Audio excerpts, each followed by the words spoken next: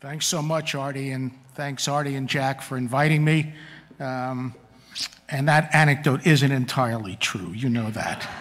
Um, but nonetheless, um, I appreciate that Artie and Jack gave the two lupus talks, or the exciting ones, going fo looking forward to the previous two speakers, and asked me to review stuff um, that is, as I, as Artie said, 75 years old. The title, The Almighty ANA, is from Jack and Artie, and I'll get into that uh, in a moment.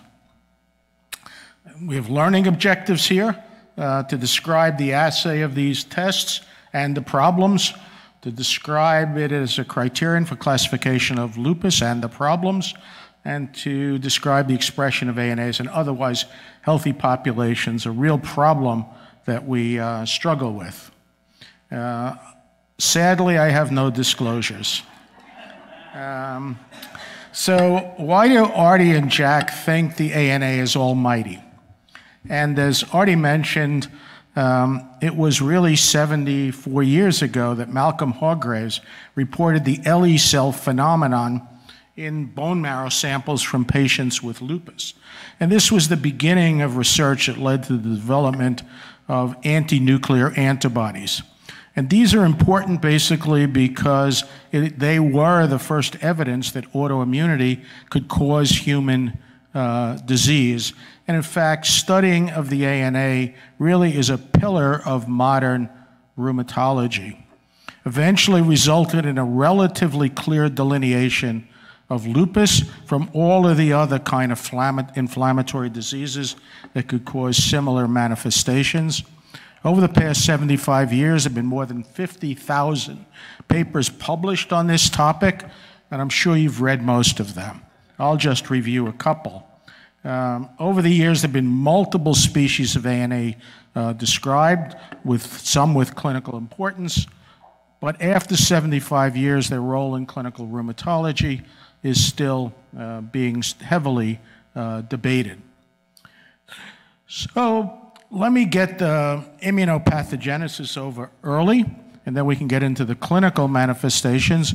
But we've learned a lot about what these antibodies uh, do and subspecies of ANA, uh, in this case the anti-DNA and the anti-RNP have told us a lot about the pathology of lupus. The first, the anti-DNA here on your left, is uh, antibody that's produced by uh, proliferating short-lived plasmablasts. We know that because they disappear when you use anti-proliferative agents. The antibodies themselves can bind largely to material from dead and dying and apoptotic cells. And uh, when they do that, they form immune complexes. And those complexes can deposit in the kidney and contribute to lupus uh, nephritis. And they can do a number of other things, activate complement and what's new is it's clear that these complexes can also activate the production of cytokines, and especially type 1 interferon, that themselves can contribute to disease. Now, whether or not these form immune complexes are governed by two very important enzymes, DNase 1 and DNase 1L3. In the absence of these enzymes, one gets a predilection for more aggressive uh, lupus. And what these enzymes do basically is degrade DNA, the cargo of these immune complexes. However, even when these don't form immune complexes, they have biologic activities, including cross-reacting uh, with um, uh, receptors in the neurologic uh, system and perhaps causing some CNS uh, disease and a variety of other actions. RNP antibodies are different. Because of Gordon Sharp's discovery or report in 1972 about mixed connective tissue disease being associated with high titers of RNP, there's been really very little study of anti-RNP in lupus, but it occurs frequently, not at as high titers in, uh, as in MCTD, but also can contribute a lot. Anti-RNP antibodies don't vary very much with disease activity, even with therapy, and they're therefore thought to be the products of long-lived plasma cells. These can also form immune complexes with apoptotic material. And when they do, they have activities. But their activities are somewhat different than those of anti DNA antibodies. Primarily, they induce the production of cytokines, uh, but they can do a number of other things, alter the biology of neutrophils. But there's no convincing evidence that these immune complexes contribute to um, uh, lupus nephritis or to complement activation at all. Again, the activity of these complexes is governed by uh, a variety of RNases, but even the uh, antibodies without cargo can basically also cause changes in neutrophil function, so they clearly have biologic activity. Now, this is a complicated slide, but it's something that we've learned about the activity of um, uh, immune complexes containing uh, nucleic acids. And in your upper left, you can see that these immune complexes are taken up by FC receptors and deposited within the endosomal compartments. In these compartments are a variety of TLRs that can bind either RNA or DNA. And the RNA binding ones, TLR 8 and 7 and 3, um, are there, but TLR 9 can bind DNA, the cargo of the immune complexes. When these receptors engage RNA or DNA, they can basically stimulate the production of type 1 interferon, seen at the bottom. And this appears to be one of the major drivers of the production of type 1 interferon in uh, lupus patients. Here's an example of how uh, one can look to see that. This is a paper from our group. Others have demonstrated this as well. But if you look at the, at the left, and here is from a very large number of patients. This is um, more than 1,600 patients. And I'll say, just as an aside, in order to understand the heterogeneity, you have to look at large numbers of patients. Looking at small numbers of patients over the years has been uh, misleading. And I would encourage all of you, meta-analysis or other kinds of ways to look at huge numbers of patients. It's the only way we're going to really figure out this disease. Regardless, if you look at the left group here, people who are negative for autoantibodies, and this is actually data from the Lilly uh, trial, largely do not have an interferon signature that's shown on the uh, y-axis. If you look at the next, next group of people, these are people who are RNA positive and DNA positive, and almost all of them have an interferon signature. The third group here are individuals who are RNA pos RNP positive, anti-DNA negative. They have also an interferon signature. Almost all of them have an interferon signature. The next column of those are anti-DNA only positive, and the uh, level of interferon is lower, and many of them have no interferon signature at all. So it's relatively clear that uh, the interferon signature is associated with the presence of autoantibodies and specifically with anti-RNP antibodies. Now, anti-RNP antibodies, anti-SM, are much more common in individuals of African or Asian ancestry, uh, and a lot of the uh, aggressive disease and aggressive interferon signature in those individuals can be understood as resulting from these ancestral differences in the tendency to generate multiple autoantibodies, including anti-RNP. All right, let's move on and get into the use of ANA in clinical uh, practice. And again, oops, I wonder what happened to that picture. Anyway, the LE cell uh, basically from Hargraves in 1948 was the clue to understand this entire thing. Work um, beginning really in the end of the 40s through the 50s led to the understanding of the, um, uh, the nature of this LE phenomenon. And basically, you need a source of apoptotic or dying cells to produce the nuclear material. You need antibodies to nuclear material and you need a monocyte to eat it all And when all of that happens, you basically, or a neutrophil, when all of that happens, basically, you get um, the LE cell phenomenon. Understanding that led to the development of many other ways to detect anti-nuclear antibodies, of which the uh, immunofluorescence assay is the one that's the most popular, initially done with animal tissue, a variety of cells, um, and finally, uh, and you know, basically, uh, the uh, immunofluorescence test replaced the LE prep in the late 60s or 70s. HEP2 cells were eventually uh, identified as the standard for immunofluorescence assays in the 80s. These are a human cell line.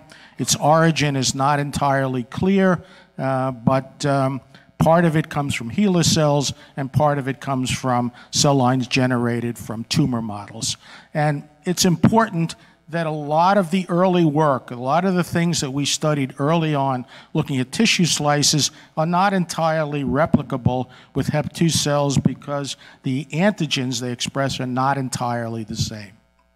So here is a slide, um, and again, anybody who was a rheumatology fellow more than 25 years ago, spent a fair amount of time learning about studying all of these uh, patterns uh, and um, understanding what those uh, patterns uh, meant, but these, these are patterns of immunofluorescence using HEP2G cells, and uh, one would learn that the particular patterns in general correlated with the presence of specific autoantibodies and in general predicted um, uh, something about the likelihood of a patient uh, having that particular pattern. And again, you couldn't be a rheumatology fellow without wandering around and, and finding some unique pattern and uh, harassing some poor resident about his ignorance, not understanding what that pattern uh, meant. I suspect we don't do that much anymore.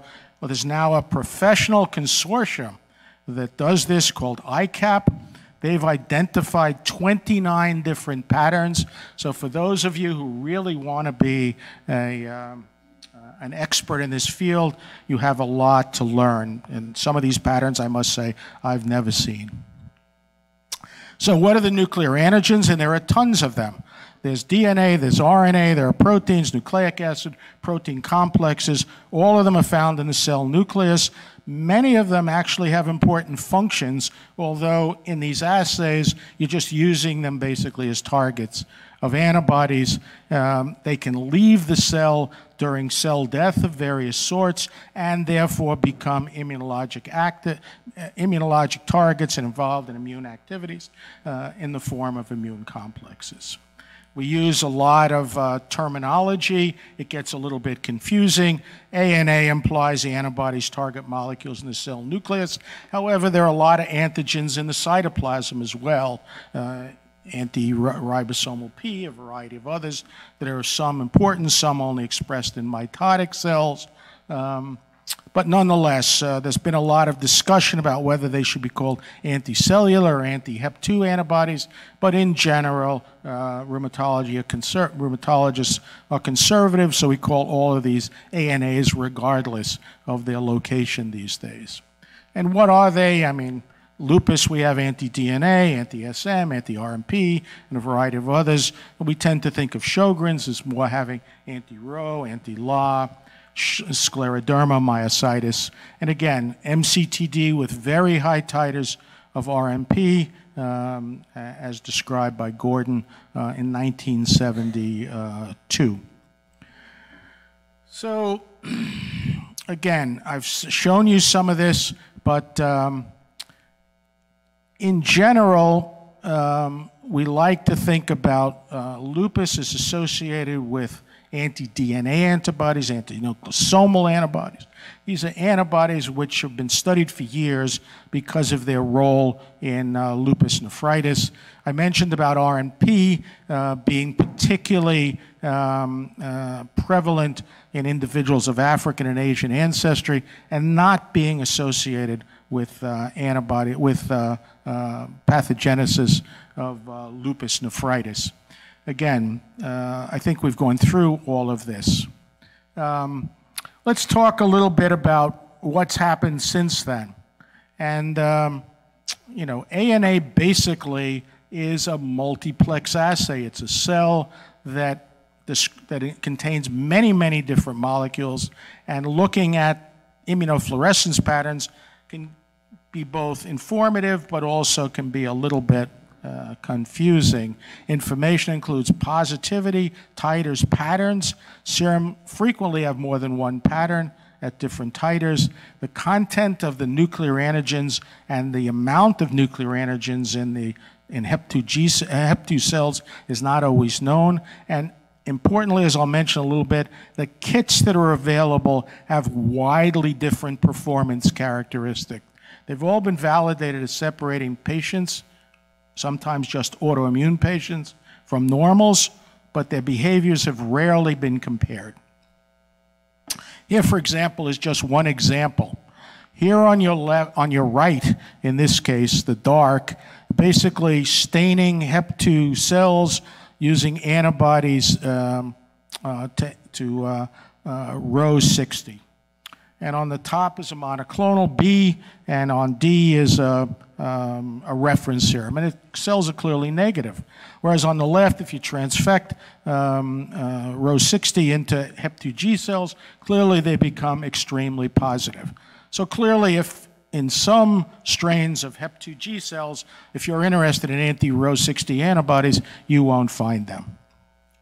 So what's happened over the years is this is a growth market. The market for ANA antibodies is estimated to be somewhere around $2 billion a year. So as a result, lots of tests have been developed. Nowadays, most indirect immunofluorescence is done by computer reading of the slides with sometimes a human uh, verifying what the computer has done, but it also can be done by immunodiffusion, counter immunoelectrophoresis, and a whole variety of tests. And as I said, most of these have not been compared. Their performance has not been compared. And somebody in your clinical laboratory is frequently the one determining which of these assays uh, you're using, and they may vary over time. Here, for example, is, again, an effort to make these tests work better. This is the Bio-Rad Bioplex. I have nothing to do with Bio-Rad.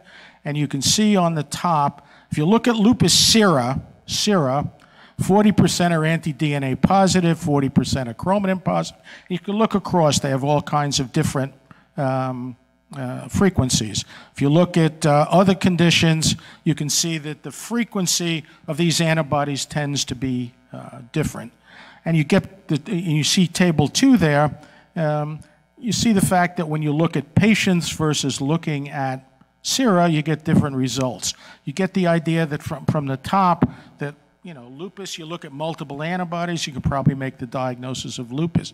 But when you look at individual patients, actually what you see is that most people have predominantly one antibody, some have two. By the time you get to four of these antibodies, only a quarter percent of a quarter of lupus patients have them. So the idea that multiple antibodies are very good to make the diagnosis is correct for some small frequency of patients, but not correct for a large number of individuals.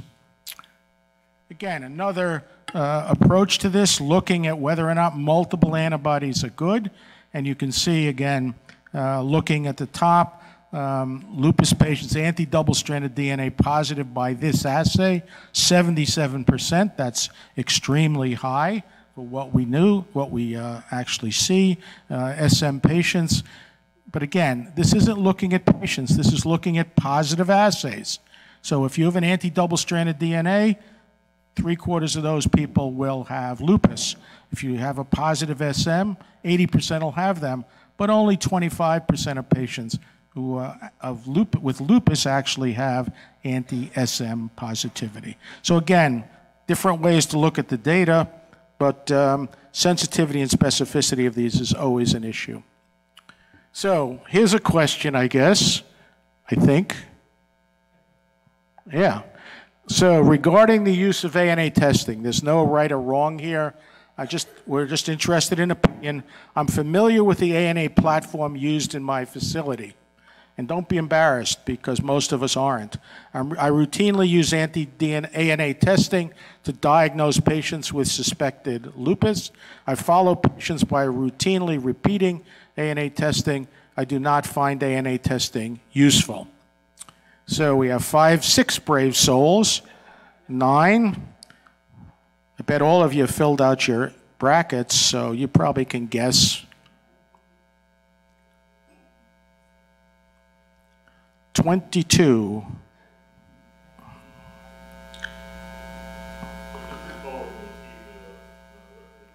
There you go. I routinely use ANA testing to diagnose patients with suspected uh, SLE. Uh, I am 50, oops, 60%. I am familiar with the ANA platform used in my facility, uh, third of people. And that's a problem, as you'll see. I follow patients by routinely repeating ANA testing, 5%. I do not find ANA testing useful, so there are 3% of people who are actually honest in the audience. So ANA for classification and diagnosis. Let's talk a little bit about this. Um, and here is a problem uh, that came out from our colleagues in, in lupus in uh, Europe, uh, the, the Euro European uh, lupus mafia. And they were interested in studying the performance of the anti-nuclear antibodies for classifying systemic lupus. And they did a systemic literature review, meta-regression of uh, diagnostic data. And basically, they found um, that the, the HEP2 ANA test was great to classify lupus. Uh, based on the data, consensus was reached to use a positive ANA of greater than 1 to 80 by HEP2 cell immunofluorescence as an entry criteria, and then to have seven and three immunologic domains with, with hierarchical organization of criteria within domains. And then they would, after a lot of pressure, allow the use of history of ANA. Does, and uh, they never really said what the assay should be, and they, um, they did, really didn't like multiple autoantibodies as well.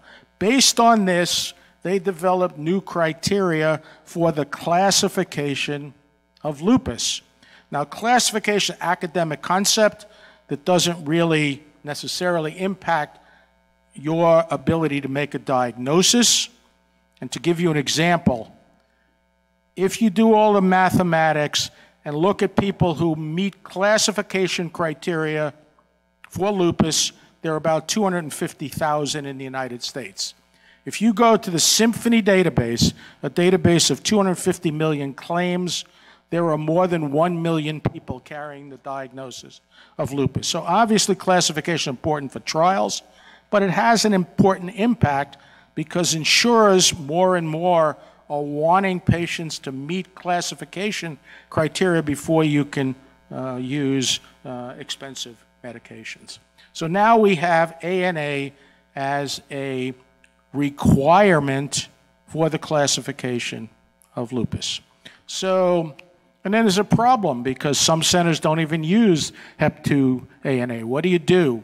Um, and then they, you know, they develop an adjudication system. And there are a whole lot of other problems. The major problem being is that the ANA doesn't really have the specificity or even the sensitivity, as I'll show you in a bit, to be used in this way, in my opinion. ANA for screening. So patients with rheumatic disease are heterogeneous. I don't have to tell you that. Symptoms are very, very um, complicated. Um, and there's a difficulty in screening for lupus because of heterogeneity, nonspecific symptoms, a lot of seropositivity in all normals, a lack of standardized assay, as I mentioned. Serology can predate and serology actually changes to negative. There's an overlap with patent syndromes and the demographics I mentioned with regard to differences in African, Asian, and European ancestry individuals. Can you use uh, the lupus uh, an ANA to screen patients? And the answer is only with great risk. Here is uh, some Venn diagrams, um, and uh, what you can see is if you screen normal people, with an ANA, most of them will not have lupus. Uh, if you take the positive people, positive ANA people, some of them will have lupus, some will have uh, other rheumatic condition or, or non-rheumatic autoimmune conditions, and most will have nothing. So as a screening test, it's really not very good. What about the positivity in normals? Well, here's a study by Fred Miller. On the x-axis is uh, age, on the y-axis is positivity, males and females, you can see. And again, minimum positivity is about 10% in younger people, but it goes up as high as 30%. And after about the age of 30, women become much more positive, but men are also positive. When I went to, when I was in training, we thought about positive ANAs and normals only in older people, but with the more sensitive tests we're using, we can see it much more frequently uh, and see it in both males and females. Uh, increasing prevalence in the United States, and again, paper by uh, Fred with uh, Ed, Ed Chan, and here a lot of data. But what you can see is, is three different time periods. The most recent one you're seeing uh, general um, uh, positivity of lupus around 15%. Uh, it does go up with age, but even young people have a 12% uh, incidence. It's uh, seen more in females than, than males. Um, for a change, body mass index has no adverse effect on anti-DNA or ANA testing, and basically smoking and uh, drinking really don't have a problem. So this is the kind of test uh, we all like because all the things we do to ourselves don't happen to have an adverse effect on this test. But the point is, this is a very common problem now, and that is that out there, there are somewhere around 45 million normal people in the United States with a positive ANA. This really can't be a screening test. So ANAs in otherwise healthy people and again, one clue of how to evolve this is understanding of this uh, uh, dense fine speckled antibody, which by ICAP is called AC2. It's a, a, a, a protein that's expressed mostly during mitosis, this sort of lens epithelial derived protein. Its um, prevalence is anywhere between 2 and 16 percent, originally described by Eng Tan. The importance is that this uh, presence of this antibody does not occur in patients with autoimmunity. Um, in general, this occurs some in patients with cancer, some in patients with HIV, but some people have advocated using this as a way to screen against autoimmunity, and you might begin to consider this, especially if the assay you use reports the ICAP classifications. And here's an example of it. Here you can see that a lot of the mitotic cells here are lighting up with this antibody. The one thing we do have to keep in mind is because of the work from OMRF, Judy James and John Harley, is that in those normal people are individuals who are brewing up lupus. But realistically, we can't really, don't really know how to find them. But this is just to remind you of the work published in the New England Journal of Medicine showing the prevalence of autoantibodies prior to either first symptoms on the bottom or diagnosis on the top uh, of various autoantibodies in people who subsequently got lupus, and it's something we need to always keep in the back of our mind even though the overwhelming number of people without obvious and classic signs and symptoms of lupus who have a positive ANA will not have disease. Staging severity, the last point I want to make quickly is this event, which occurred as a result of our colleagues in uh, the pharmaceutical industry, and this occurred during the development of belimumab, and I must say, probably should be highlighted on the slide of the di diagnosis. Those of us who can remember the phase two trials of belimumab and lupus failed.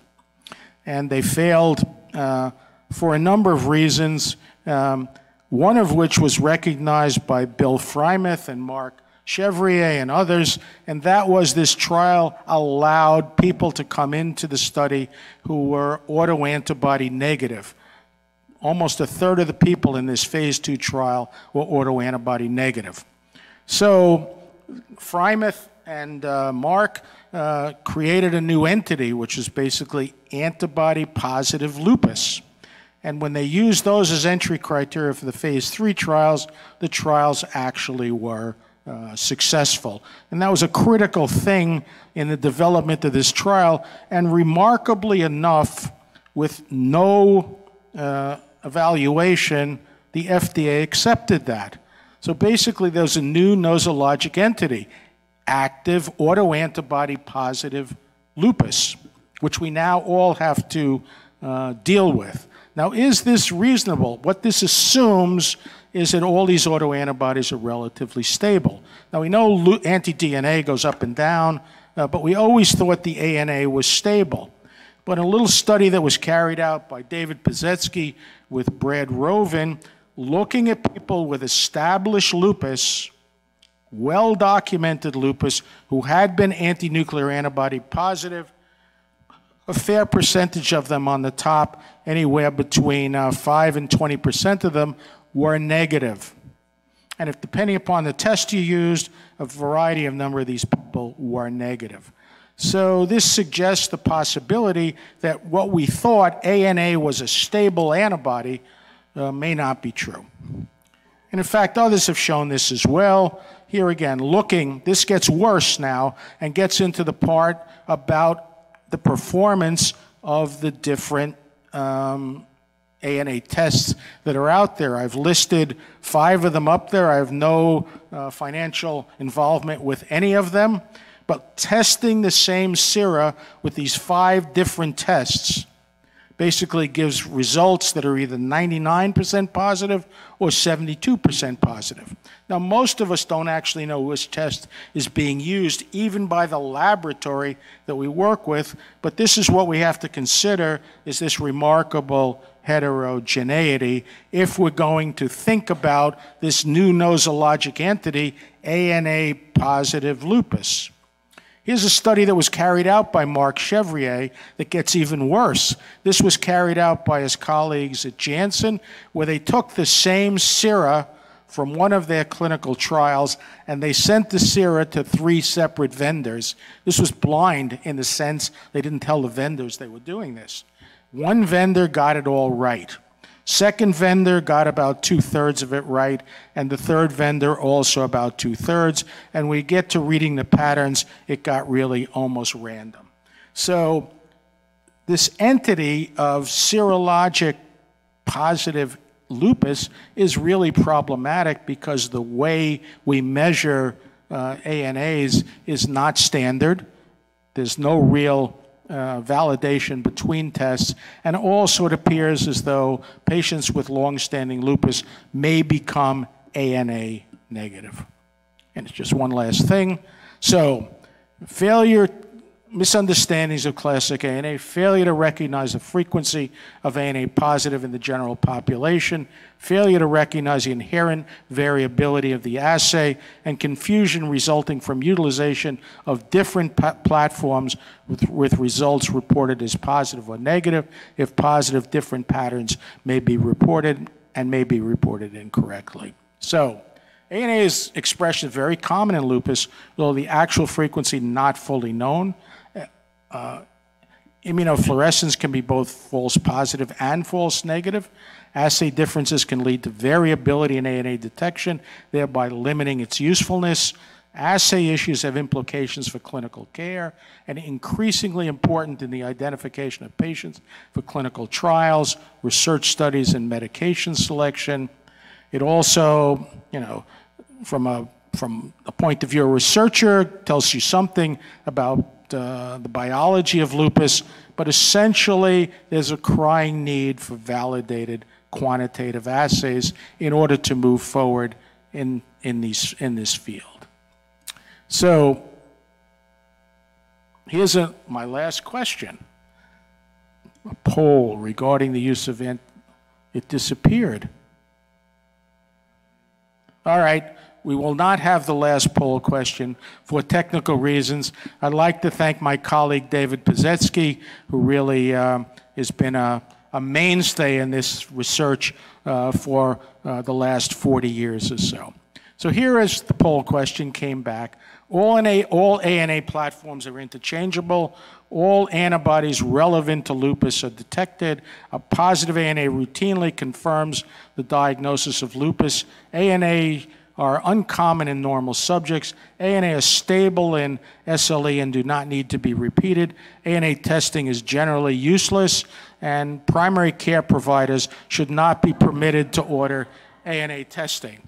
So I'm not going to guess. One of these is obviously correct, um, but we'd like to see the results. Just agree. You can agree with all of them if you would like. Okay.